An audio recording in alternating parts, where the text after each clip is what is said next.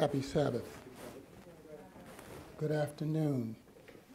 Welcome to our visitors. Welcome to all. I want to thank uh, Brother Pascal for that wonderful song. Where did he disappear to? He disappeared so quickly. You know, when you when you hear someone take, especially a young person, take a collection of hymns and bring them together and give a message, hold fast till I come. And you see that the Lord is trying his very best to let us see the things that are happening. But at the same time, he's saying to us, hold fast till I come, because his coming is not way out there. His coming is right here. We are told that his coming, he is nigh at the door. And so, as we pick up from where we left off the last time on the seven trumpets, and we talked about the seven trumpets as signs of warning that a judgment is to come, a judgment is to come. And God used the seven trumpets to allow the people of God to know that He is not joking about judgment. He used the seven trumpets the hordes of the barbarians and also the Arabs to let people know, to let mankind know that if God says there's going to be a judgment, there's going to be a judgment. Amen? And so, as we look at the idea of the seven trumpets and contemplate the judgment, let us have a word of prayer that we all will be ready and that we can hold fast till he comes. Father in heaven, nothing in my hands do I hold. And I ask that you would speak through me, that your people will hear, and that the words that are said are not my own, and they are also spoken not just through me, but to me, and that the words of my mouth and the meditations of my heart be acceptable in thy sight. O Lord, my strength and my redeemer. Amen. As we talked last time, we spoke of Daniel. So if you will, Let's turn over quickly to Daniel 7 and 25. If we, you look at Daniel, we're going to do a very short and quick review. We look at Daniel, and when Daniel saw the four beasts of Daniel 11, he saw this fourth beast. Now, he saw these beasts, but when he saw the fourth beast and he saw all the things about the fourth beast, then Daniel became concerned. Daniel 7:25 says, "And he spake, and he shall speak, excuse me, and he shall speak great words against the Most High, and shall wear out the saints of the Most High, and think to change times and laws, and they shall be given into his hand until a time, times, and the dividing of time. But the judgment shall sit, and they shall take away his dominion to consume and to destroy it unto the end. And the kingdom and dominion and the greatness of the kingdom under the whole heaven shall be given to the people of the saints of the Most High, whose kingdom is an everlasting kingdom, and all dominions shall serve and obey him. If we understand that we are in the judgment hour, and exactly where we are in that judgment hour, and who are the characters in the judgment, we will be able to more amply prepare for what is coming and make the character changes that are desperately needed for now. For instance, two years, or rather, two years, or rather, the time are mentioned in the series of scriptures. When we see, when we go back and it says times and times, that's talking about year, time, and then times means twice the time. Amen? Those times, times, and the dividing of time. What time is he talking about right there? We need to know these things. What time is he talking about there when he says time, time, and the dividing of times? He's talking about the 1260 years. And that time comes to its end in 1798. And then he goes in, in, verse 26 and says, But the judgment shall sit. And what time is that? 1844. So we see right here that there's a judgment that is to be executed prior to, and then the judgment that's going to be applicable also after, which is 1844.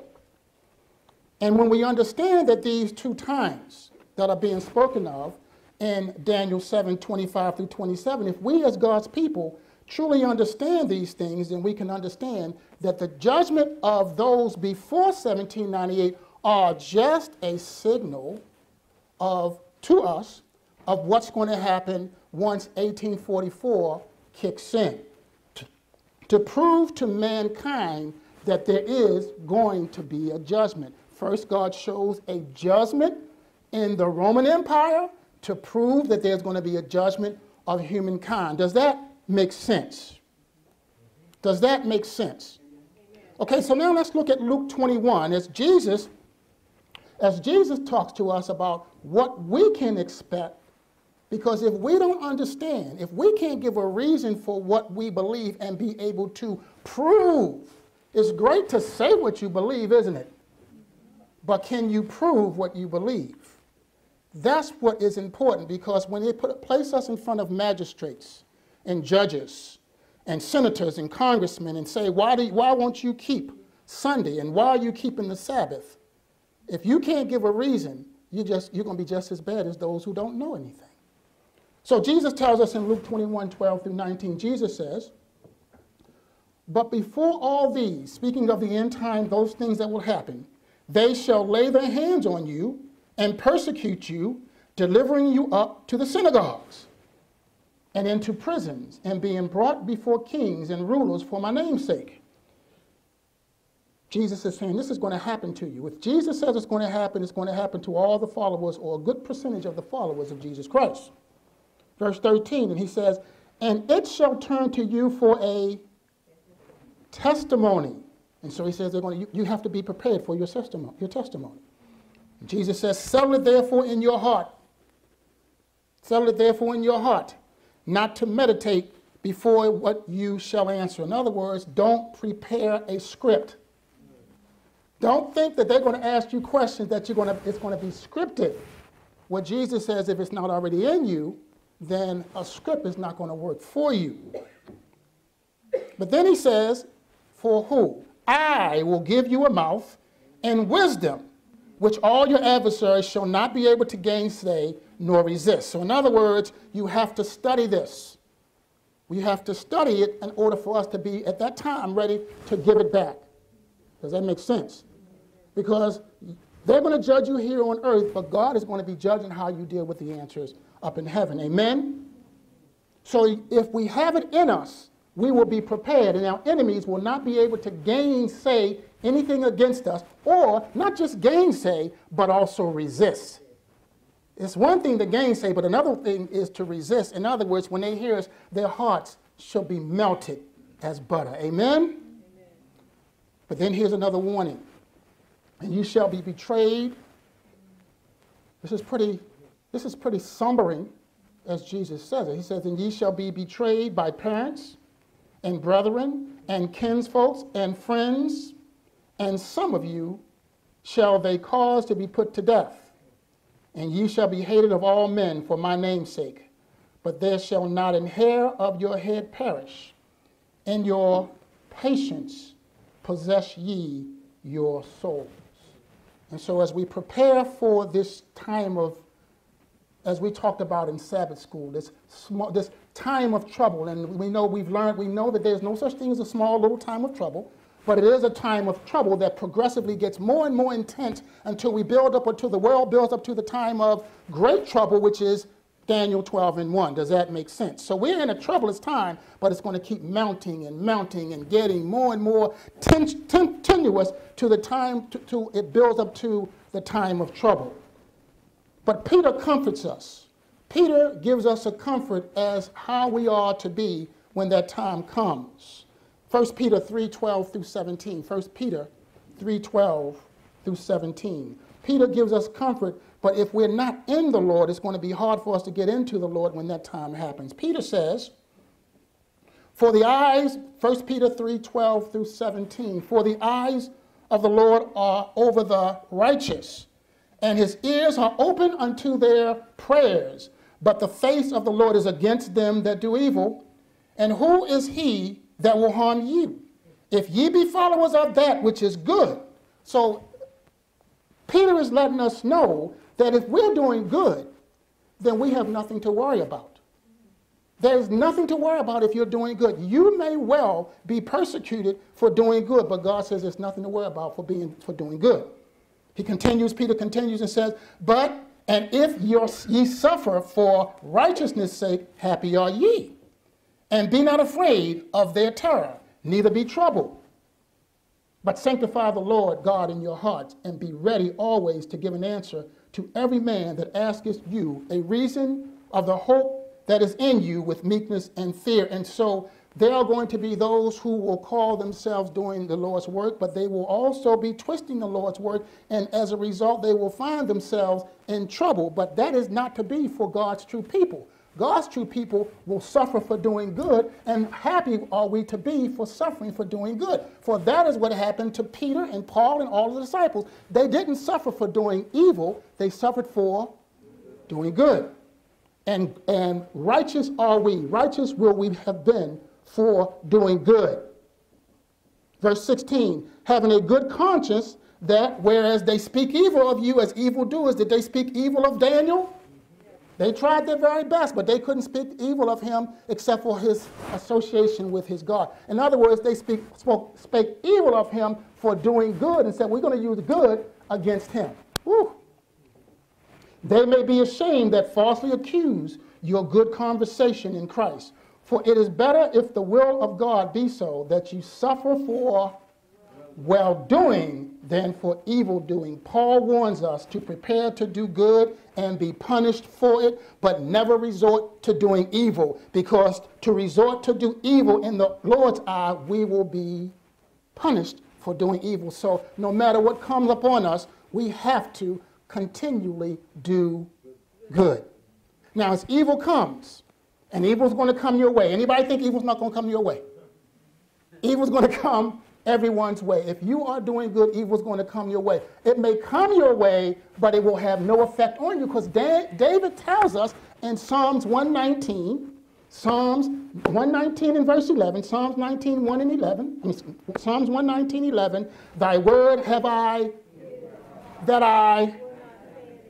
So if the word is in us, then we will not sin we will not sin. So God's expectation is his people, his people is to hide his word in our hearts. And so as we are now in this time of judgment, as we are now in this time of judgment, we are to be looking at what are those things about us that if Christ were standing right beside us, right beside us, no matter where we are, okay? No matter where we are, I, we used to, when, when we were children, remember you used to say, parents, it's 11 o'clock, do you know where your children are? Mm-hmm. Well, they don't say that anymore, right? I was always taught that because my last name was Burns, I had to live such a way that if my mother or my father were, were with me, whatever I did could gain their approval. The standard is even higher now because Christ is standing right near us. And no matter what we're doing, it always has to pass the judgment. Judgment is not always out there, judgment is right there. Jesus is standing right beside us. And so, what God was trying to let Daniel understand, or get Daniel, but not just Daniel, he was trying to get those who would read the book of Daniel to understand that judgment is right upon you. And so when we looked at this judgment and we talked about these 10, these 10 hordes or 10 divisions of Rome and how God used that in the judgment, remember as, as we talked about it, going back to Daniel 7, going back to Daniel 7, you and I will participate in the judgment. If we are, if we hold on and hold fast till he comes, we will judge angels, Satan, and other human beings. Do we know that? And so God is telling Daniel in Daniel 7 18 through 24, and he's telling us, especially us, but the saints of the Most High shall take the kingdom and possess the kingdom how long? Forever, even forever and ever. Then I would know the truth of the fourth beast. God wants Daniel to know that although you see all these wicked things that this beast is doing, this beast is subject to a judgment. This beast, which was diverse from all the others, exceeding dreadful, whose teeth were of iron and his nails of brass, which devoured, brake in pieces, and stamped the residue or the remnant with his feet. And of the ten horns that were in his head, and of the other which came up, and before whom three fell, even of that horn that had eyes, and a mouth that spake very great things, whose look was more stout than his fellows. I beheld, and the same horn made war with the saints, and prevailed against them. How long did this beast prevail against the saints? The Bible tells us in verse 22 until the Ancient of Days came, and judgment was given to the saints of the Most High and the time came that the saints possessed the kingdom. In this one verse, verse 22, we see from the time 1798, 18, 1844, until the end of time. We see all the things that will have an effect on this dreadful beast. And verse 23 says, Thus he said, The fourth beast shall be the fourth kingdom upon earth, which shall be diverse from all kingdoms, and shall devour the whole earth, and shall tread it down and break it in pieces and then, excuse me, and the ten horns out of his, this kingdom are ten kings that shall arise, and another shall arise after them, and he shall be diverse from the first, and he shall subdue three kings. This is the career of the Roman system, also to include the papacy. And as we look at the trumpets and the woes, as we have looked at the trumpets and the woes, where did we finish? Do you remember where we finished? Does anyone remember where we finished? I do. Turn with me, if you will. Turn with me, if you will, to Revelation 8, our opening text. Revelation 8. How many trumpets are there? Seven.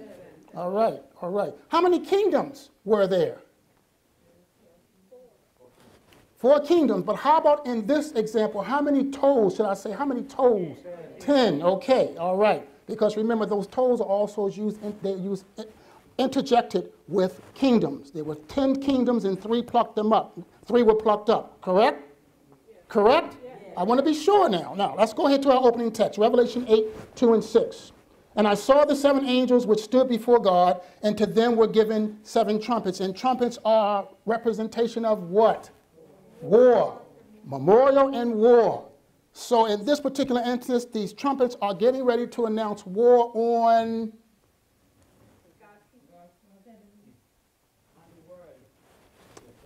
All right, let's get this right. Seven trumpets. Revelation 8. Who is the entity that's getting ready to have judgment executed on it? Okay, that's why we're here today. Let's continue. Seven trumpets. We're going we're gonna find out in just a moment. Okay? Verse 6. Revelation 8 and 6. And the seven angels which had the seven trumpets prepared themselves to sound. I heard someone say part of it. Turn with me if you look with me if you will in verse 7. We've already covered verse 7, okay? But this is for review. And the first angel sounded, and there followed hail and, and fire mingled with blood, and they were cast upon the earth, and the third part of the trees was burnt up, and all green grass was burnt up. Who is this application to? Rome. Thank you, Sister Cami.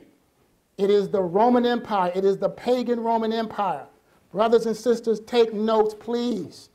This is how William Miller and Josiah Litch were able to understand and interpret and prophesy August 11, 1840. They understood the seven trumpets and when it got to the fifth and sixth trumpets, they were able to use prophetic interpretation a day for a year to determine the 150 days and the 391 days and 15 minutes. They understood it because they understood Revelation 8. And so, and so days, 391 days. Thank you, Sister Burns. J. N. Andrews says this, speaking of this time, and again, when the seven angels received the seven trumpets, that's Revelation 8 2 and Revelation 8 6, when the seven angels receive the seven trumpets, the scene of vision is still the first department, okay? The first department of the sanctuary. All right, does that make sense?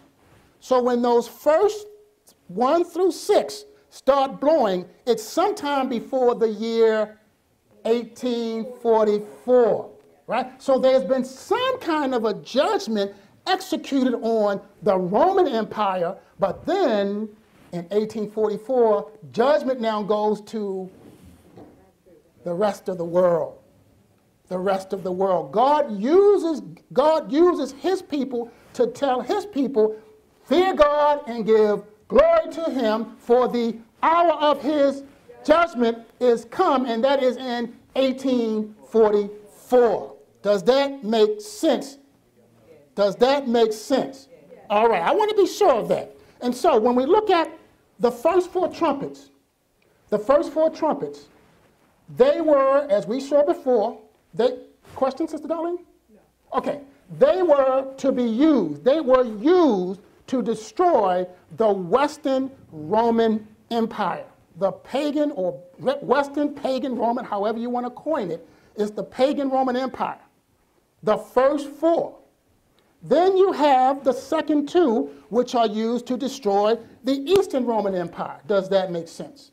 All right. So once those two trumpets will have done their work, once those two trumpets will have done their work, and we will go through that, then you have the seventh trumpet. That is the final trumpet. There are only seven trumpets. Which trumpet are we in right now? Seventh, trumpet. So that means we're running out of time. We're on borrowed time. Amen? So when we, when we see this seventh trumpet, this seventh trumpet is not for the west, it's not for the east, it's for the west, east, north, south. It's for the entire world. That's why the first angel we are told, and I saw another angel flying in the midst of heaven. That means that is a worldwide message. We are the people of the seventh trumpet. From a spiritual standpoint, God uses us to tell the people about Him, and God, from a physical standpoint, God uses Islam to destroy the world. The first, the first world, the second world were Islam or the Arabs. And the third world is a worldwide attack of the Arabs on the world. And we'll talk about that when we get to five and six. And so once that's done, once we do our work, that's it. But that means that God is waiting for us to do our work. Doesn't that mean that? So when we look at the seven trumpets, all seven trumpets, the first six are judgment of the pagan Roman Empire. Please write this down.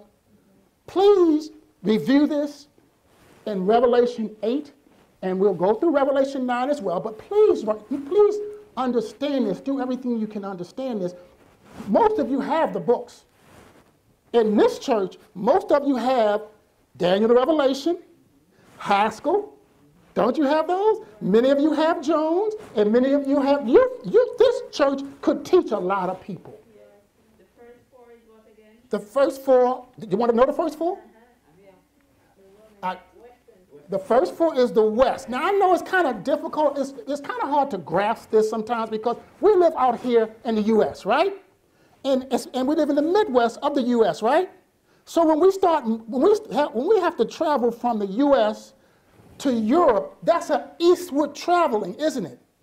It's, we have to fly to the east, right? And so when we get to Europe, it's like we're east of the United States, right?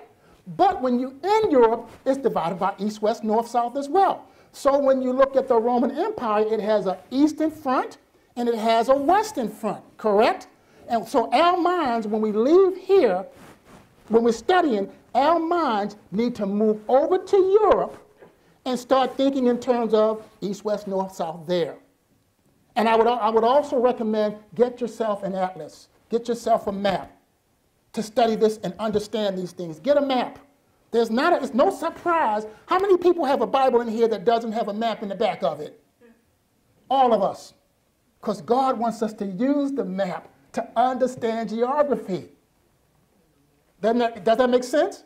All right, so when we look at the first six trumpets, they are for the destruction of the Roman Empire. Amen? Okay, we're okay. And then the final trumpet is the destruction of the world. Now, this is a. We, we, so the first trumpet we already did, so I'm not going to review it. The first trumpet we already did. And who was the first trumpet? The Goths. Somebody hit, did you get that? The Goths. G O T H S, the Goths. The, the, the Goths are divided into two groups. The west being the Visigoths, and the Ostrogoths being the east. But the most of the damage that was done to the Roman Empire in this particular segment was the Visigoths, but all of them were part of the 10 barbarian hordes that came down and destroyed the Roman Empire. We're only given four in Revelation 8, but all 10, all 10 did some work on the Roman Empire, okay? Does that make sense? There are 10 barbarian tribes, but only four are explained in Revelation 8. Are we okay with that? And again, you got Smith's books, Haskell's books, Jones' books, it's in there. You got Ridpath, it's in there. This is not made up. All right? Okay, so we, we, we took care of the Goths a couple of weeks ago. and we're going to have to fly through the next four, the next three. Okay? I know. I know. Let's go to let's go to the second the second the second trumpet. Let's go to the second trumpet, okay? We're there with Revelation 8, 8 through 9. Revelation 8, 8 and 9. Tell me amen. You should have it. We're already in Revelation. Amen. The Bible says, And the second angel sounded, and as it were, a great mountain burning with fire was cast into the sea.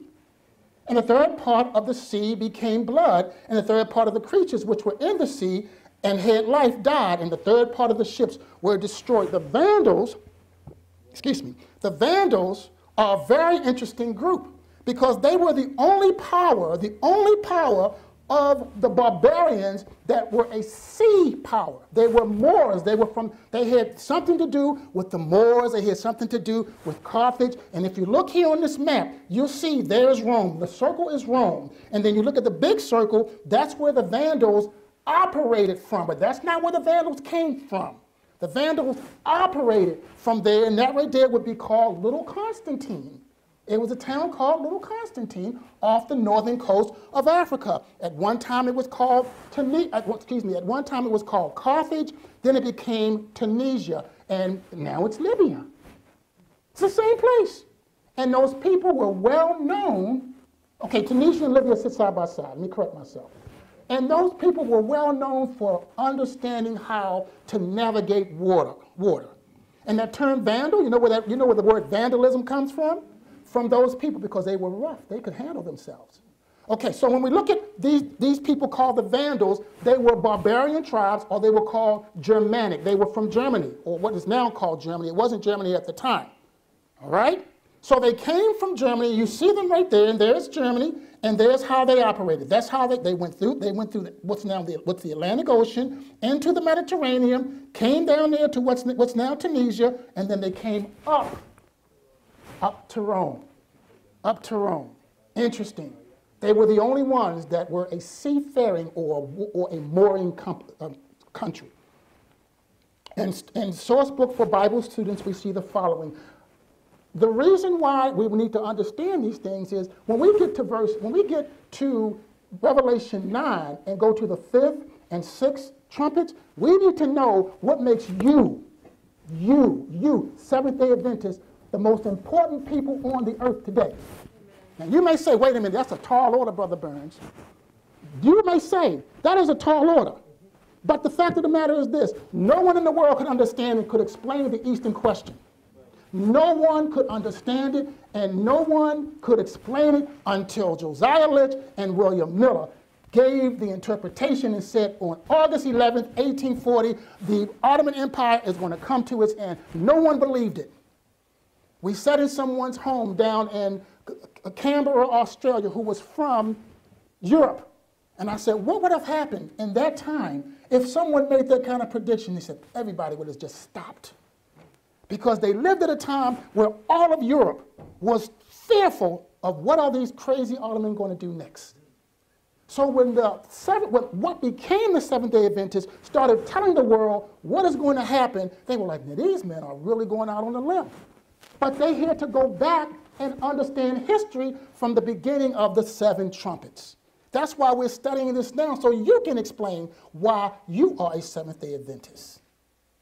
And so we look here at the source book for Bible students. Source book for Bible students, it says, speaking of the Vandals, says, thus a part of the a part of the prefigurations of the second trumpet had been fulfilled.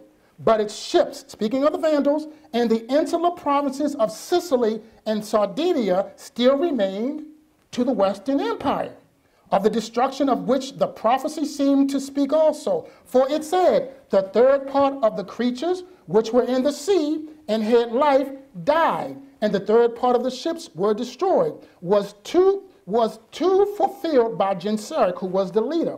Mark what followed after the capture of Carthage. Carthage is right here. Oh, let me take you back to the slide to where Carthage is so you'll be able to see where Carthage is. Here is where Carthage was. Carthage is no longer a term, but Carthage was right here. Carthage was right here. Okay? The people were called Carthaginians, and their general was Hannibal. Anyone ever heard of Hannibal? He was a bad boy. Hannibal was their general, and, and had it not been for the conquering of the Carthaginians, Rome would have never ever conquered the Greeks. All right? Again, that's in Ridpath's. You can, you can actually find it in also The Two Republics, which is A.T. Jones's book. There are quite a few books. This isn't, I don't know anything that you don't have access to. Okay? So let's go back to where we were. No, you didn't miss anything. Okay. And then, we told here, and then the fleets of the, Van, the fleets, the Vandal fleets that issued from the port of Carthage again claimed the empire of the Mediterranean. So they didn't just attack the Romans, they actually ended up having control of the Mediterranean Sea.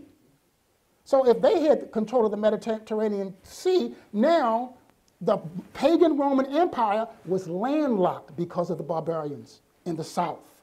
Sicily was captured by them, and Sardinia and the other western isles, all that was in the third part of the sea. Twice on occasion in the same book, twice on occasion, alike memorable, memorable, the Roman navies, with vast preparations, were collected to destroy the Vandal power. They mounted an attack against the Vandals. But suddenly and most disastrously, in the harbors of Carthagena and Bona, when the eyes of the Romans were fixed on them with hopes raised to the highest, they were utterly destroyed. What did God say was going to happen? God said it was going to happen, right? He said it was going to happen in around 90, 92 AD because that's when John the Revelator saw this vision. Amen? So, some 340 years later, it happened. God is trying to tell you, brothers and sisters, He's trying to tell us something that we got to grasp it. He's trying to say, I know what I'm going to do. I just need you to be prepared. That's all He wants. He says, he, he, we are told the secret things belong to the Lord our God. Right? But those things he revealeth, he revealeth to who? Us and our children, that for what? That we may do the words of his law. So when he reveals a secret to us that was a secret at one time, he's saying, I'm giving it to you so I will have credibility so that you will hold fast to my law, knowing that I am going to judge not only them, but I'm going to judge you as well. That's what God is trying to tell us in what happened to the Roman Empire. They were utterly destroyed, in the latter case, by fire ships driven among them in the obscurity of night so that the remainder of the prediction was fulfilled also.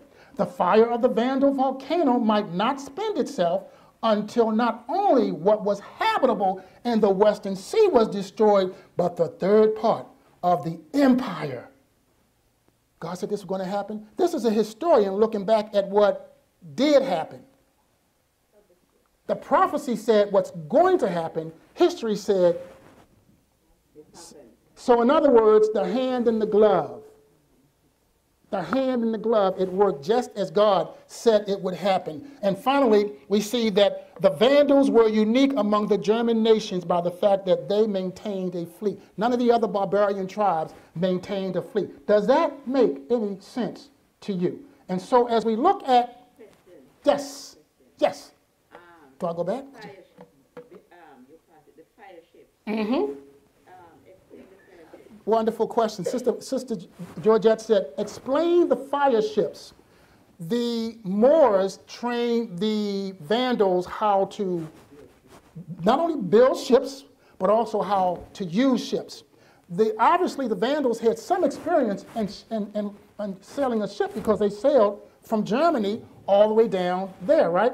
But they sailed not much, not as much as a warring group, but as just people who sailed.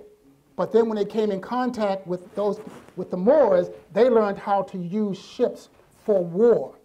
Sometimes they used ships and they were on them.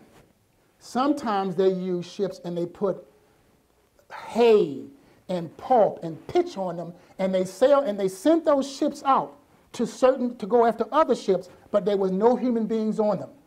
And they used those ships and they sent them in a direction, and when their adversaries thought they were coming up on some uh, on a debilitated ship, that ship ended up crashing into them. And that's how the Romans were destroyed. Does that make sense? They were, that's why, they, that's why they, the Moors of Spain were so phenomenal because that name Moors, look up M O O R, and you'll see that means someone who understands how to sail a ship very good, very well. All right? Are we okay, Sister Georgia? Yeah, but how did they, um, the ship, how did they? How did they get them out of sea? Um, I haven't found anything that says how they got them out to sea.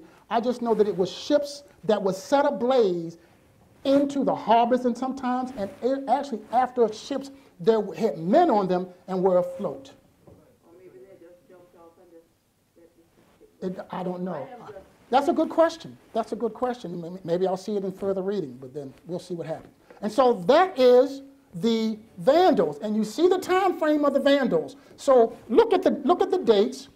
God would allow these various barbarian tribes to come in, destroy a part of the Roman Empire, set up camp, and then another part of the Roman, another group would come in. They would destroy that part of the Roman Empire and set up that those camps. Each one of these of these individual um, barbarian hordes ended up becoming one of the kings. Or For instance, the Anglo-Saxons, Great Britain, right?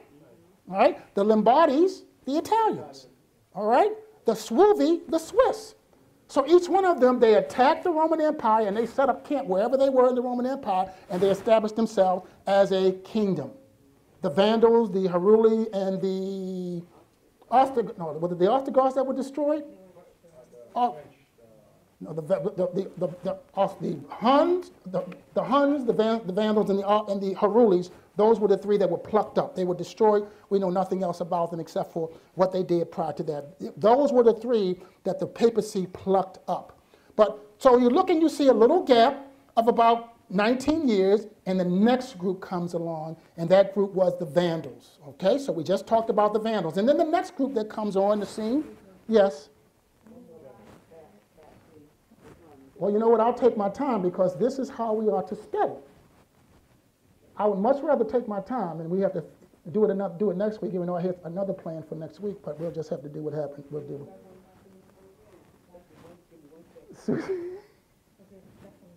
oh, you need that um, okay, doke. So the Vandals, they executed their, the judgment that the Lord allowed for them to execute on the Roman Empire from 429 to 468 AD. Does that make okay? You okay, Cammy? Time's up.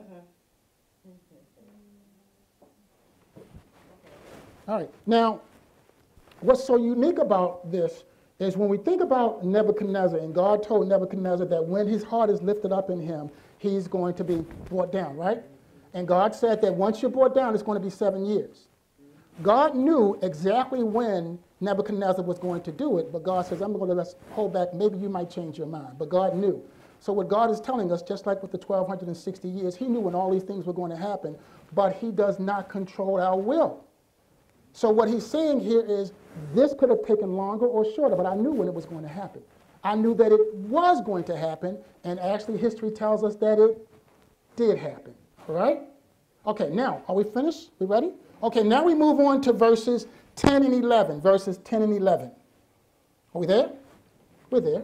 And the third angel, so now the Huns are the third group of the barbarian hordes, right? These are the third group spoken of in Revelation 8. And the third angel sounded, and there fell a great star from heaven, burning as it were a lamp, And it fell upon the third part of the rivers, and upon the fountain of waters, and the name of the star is called Wormwood, and the third part of the waters became wormwood, and the, man, and the many men died of the waters because they were made bitter. Now, before we, before someone said, wait a minute, Brother Burns, you said the Vandals were the only ones who were seafaring. That's exactly right. But in, the, in this particular case, when it says waters, it's talking about people. Amen. Amen. Huh? This is the third trumpet. This is the third trumpet. Uh, when it says third angel, it means that it means the same as the third angel with a trumpet. So that's the third trumpet, all right?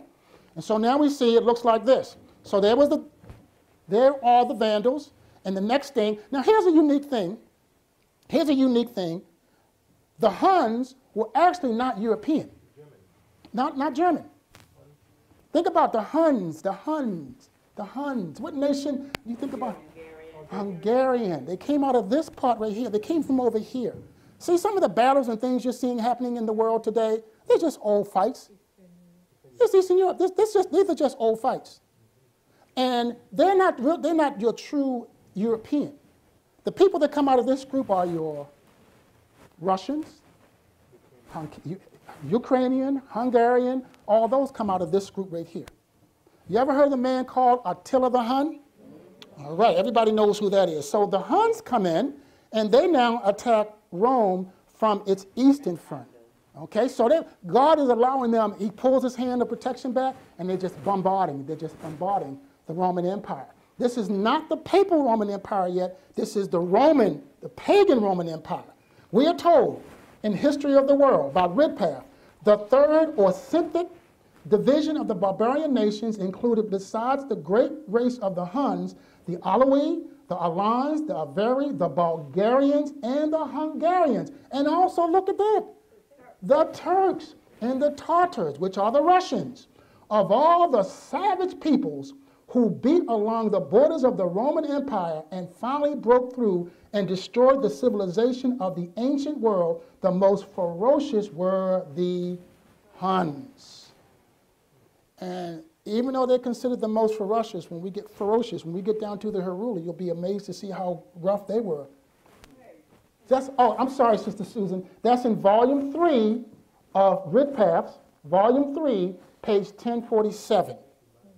Okay? So the thing of it is, is we don't have to find, you're going to always find your people say, well, that's what you Seventh-day Adventists say. Right?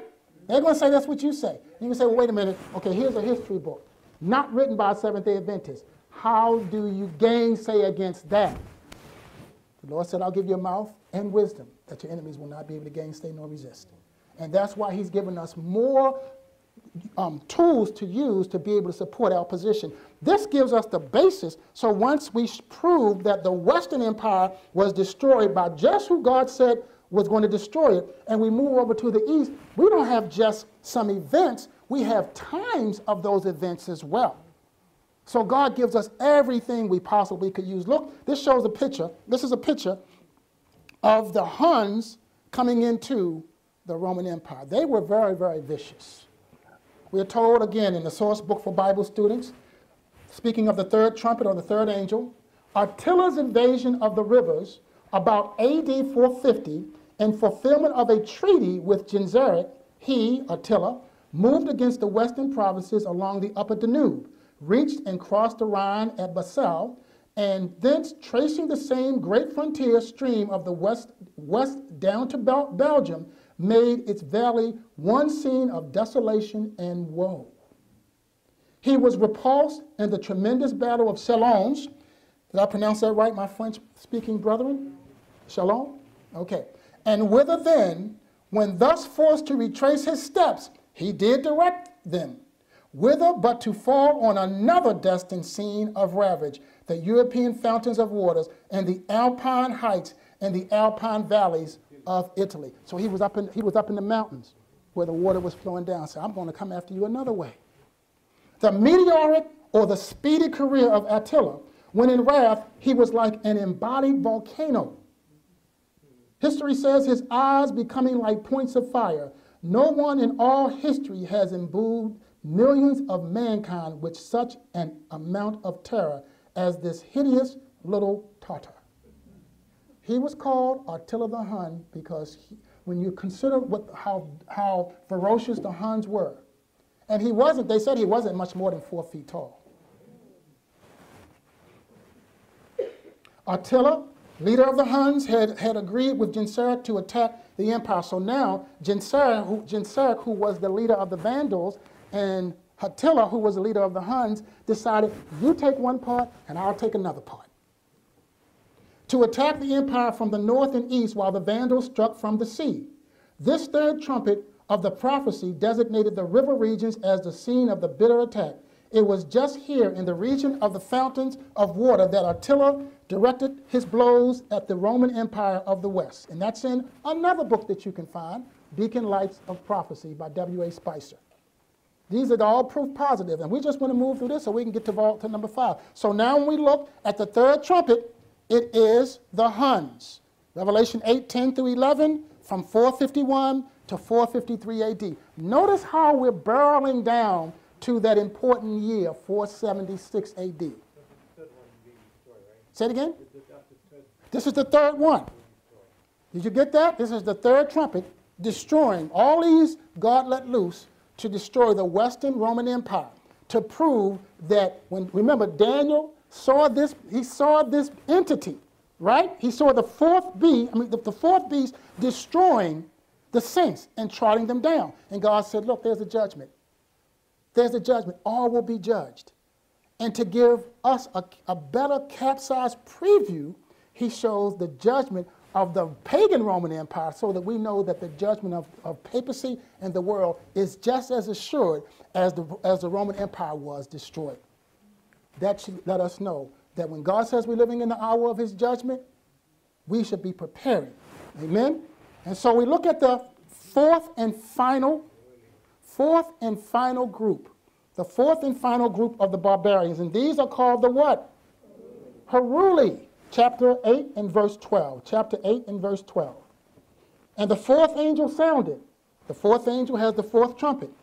And the third part of the sun was smitten, and the third part of the moon, and the third part of the stars, so as the third part of them was darkened, and the day shone not for a third part of it, and the night likewise. Now, this is interesting the way prophecy explains, or prophecy tells us this was going to happen. First, let's look at where the Heruli came from. They were, of course, another Germanic tribe. They come from up here, and they just basically come down and execute. They were the final ones to execute the judgment on the Roman Empire.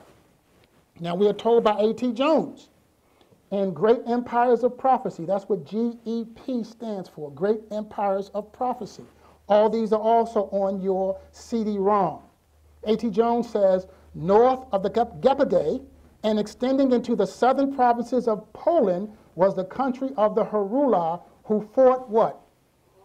Almost naked. Isn't it cold in that part of the world? Yeah, eastern part of Germany. They fought. They conditioned them. they to- said it again, Sister Georgette. They They were conditioned, but they, they fought almost naked, and whose bravery was like madness. But they say the Huns were even worse than the Heruli. The, I'm sorry, great empires of prophecy. All right? The Heruli were a Vandalic tribe of ancient Germany, so they were related to the Vandals, but they weren't Vandals per- se. The first historic mention of them is about the beginning of the third century. And the great movement of the Goths from the Baltic to the Black Sea. Do you hear any of those terms used today? The Baltic, the Black Sea. Yeah, we're just seeing things happening all over again. They're still, they're still fought, being fought over. The Heruli and the Bulgarians are particularly mentioned. They fixed their habitation on the marshy lands near the lake Maeotis, which is now known as the Sea of Azov. Anyone ever heard of the Sea of Azov? Okay. I'm going to show you where the Sea of Azov is. See if I can, it won't, it might not, you might not be able to pull it up. Here's the Sea of Azov, right here. That's the Sea of Azov. What is this?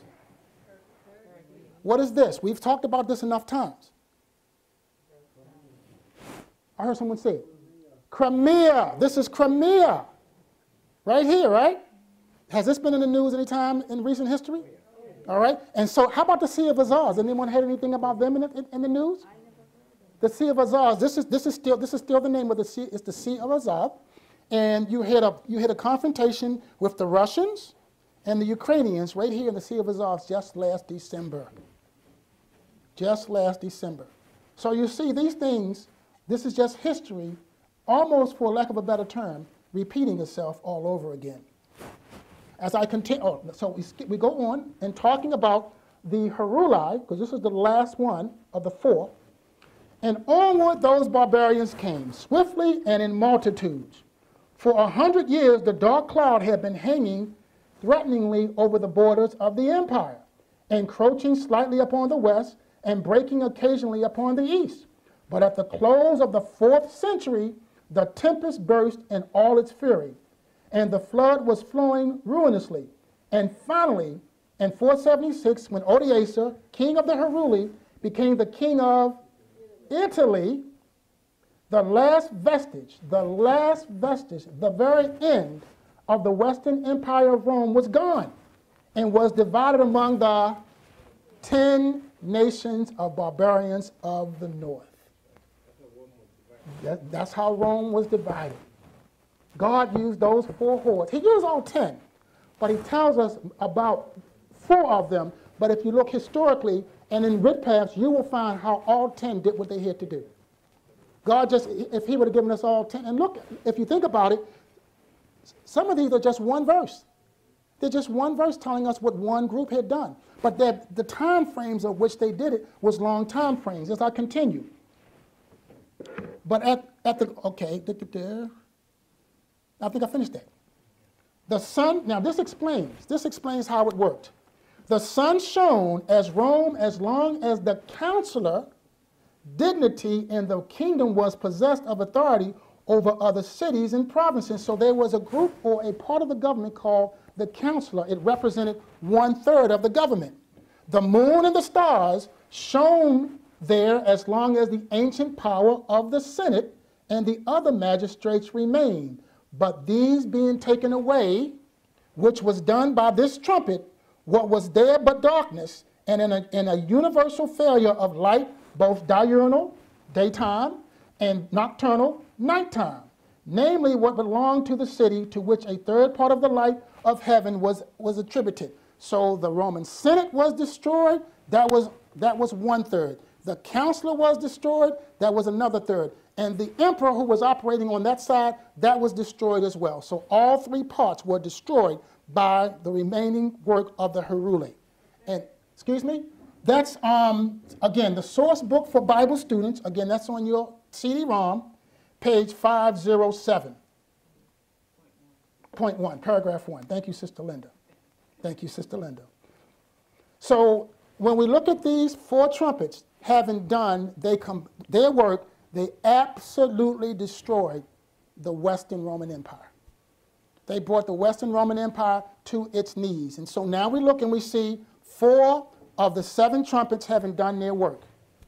The fourth trumpet is the Herulis, also known as the Lombards the, and the Anglo-Saxon, from 471 AD to 476 AD. I'm letting you write that down before I move on to the next one, Sister Linda. All right? I'm ready to move, though. Oh, no, no, no, I can't write that Come on. So when you look at this, while we're waiting, so when you look at each one of these, none of these, none of, they were all barbarians. All 10 of them were, were barbarians, barbarians. Three of them were considered Arians. Now, the Arians were completely at odds with the Roman Catholic system because the Roman Catholic system believed in the Trinity. So they plucked those three up, the Herulis, the, the Vandals, and the, it was the, actually the Ostrogoths, the Heruli, the Vandals, and the Ostrogoths. Those three were plucked up, moved out of the way, and Rome basically took charge right then and there. and the Arian, they didn't believe in the Arian faith. You ready? We, we ready? All right. Right, the Arians, those three did not believe in the Trinity. The other three, they the other seven vacillated back and forth, but eventually they were convinced that the papacy was right. So, in summary, on this quick point, because I'm almost ready to wrap this up, the first four trumpets were, come on, who was the first one? The Goths. Second, third, fourth. Amen. Great. And so they worked to destroy the Western Roman Empire. And so we're going to move on. I'm not finished with them just yet because I'm not going to do that. We won't be able to do the other two. We don't have enough time. Unless you want to eat until your lunchtime. Uh, somebody said no. Okay. or afternoon. Maybe. The first four, the first four, speaking of the first four trumpets, this is again in your, in your source book for Bible students. Events of Western Rome's downfall summarized. Here's the summary. At this point in writing, says Barnes, that's who we're going to be quoting from, I looked on a chart, watch this, in history, composed with no reference to this prophecy. So in other words, this is going to be secular in terms of how he, who, who was right, who, had, who he was looking at. And found a singular and unexpected prominence given to four such events extending from the first invasion of the Goths and Vandals at the beginning of the 5th century to the fall of the Western Empire. He said, I'm seeing something, something consistent here. He says the first was the invasion of uh, Alaric, king of the Goths, AD 410. A second was the invasion of Attila, king of the Huns, also known as the scourge of God or the hammer of God. A third was the sack of Rome by Genseric, king of the Vandals. The fourth, resulting in the fourth conquest of Rome, was that of Odoacer, king of the Heruli, who assumed the title King of Italy. We're consistent so far. Then he says, We shall see, however. Yes. Oh,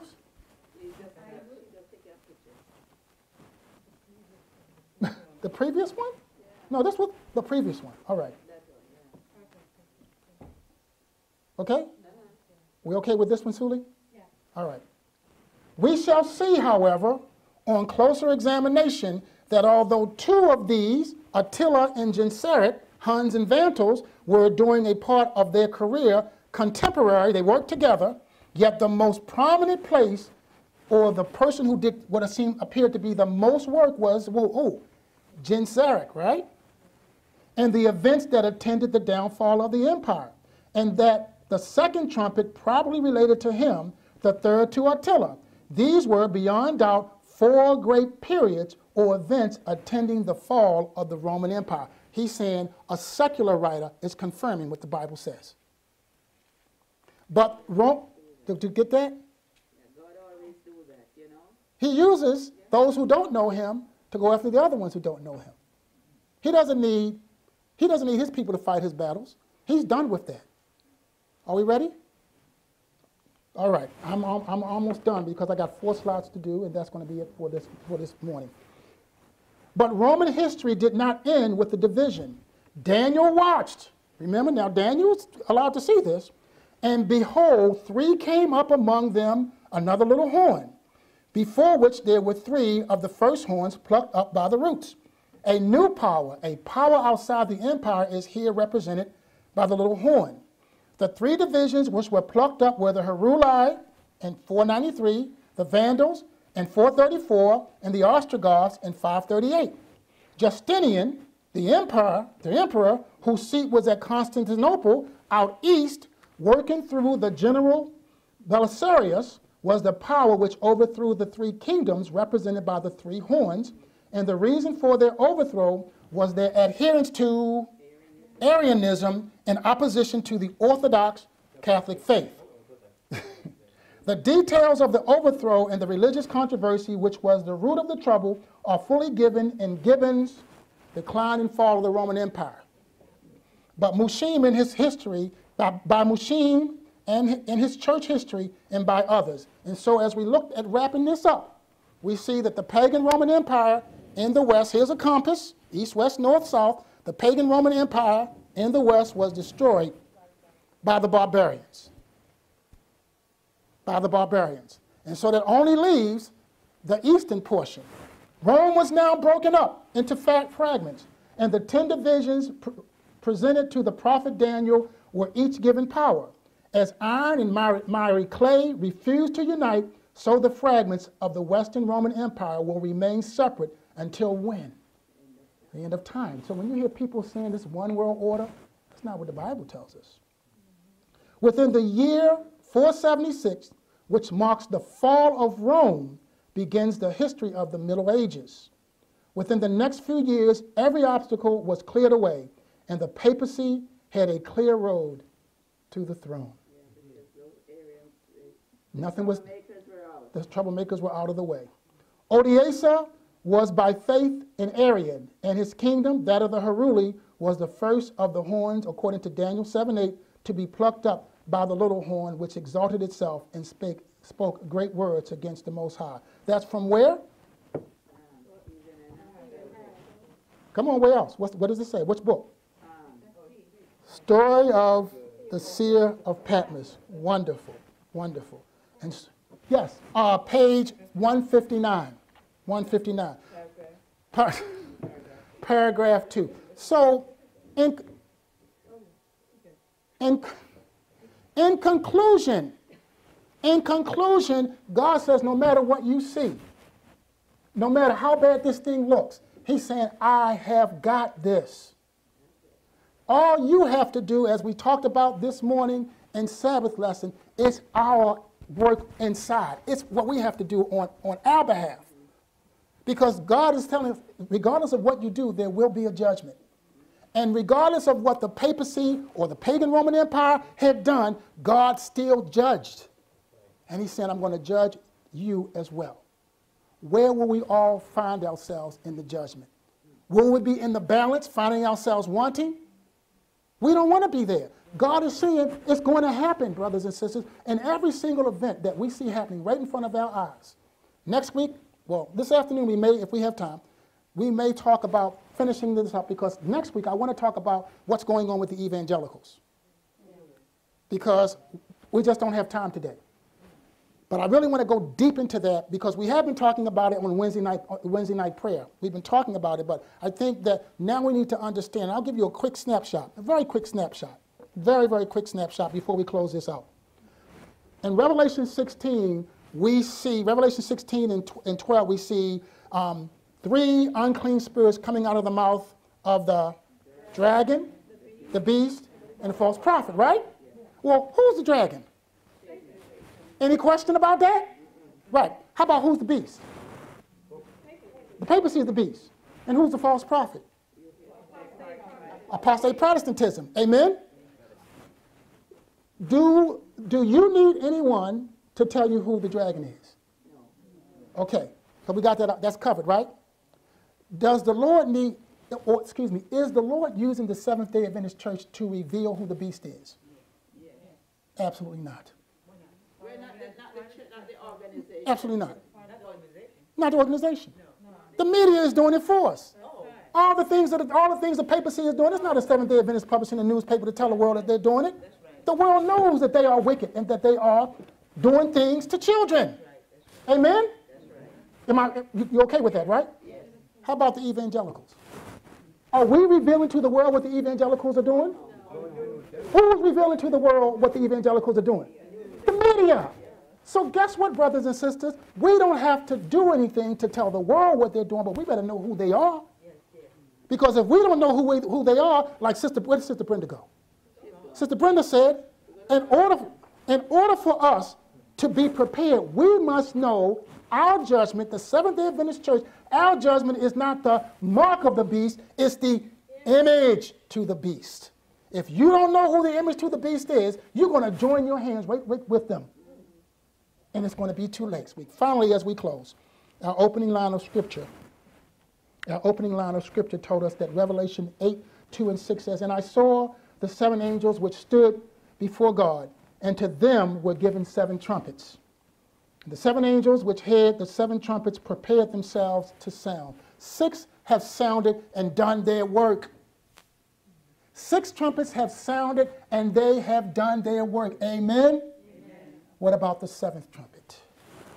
What about you? How do you and I stand with the seven trumpets? Are we giving that trumpet a certain sound or are we sitting on our testimony?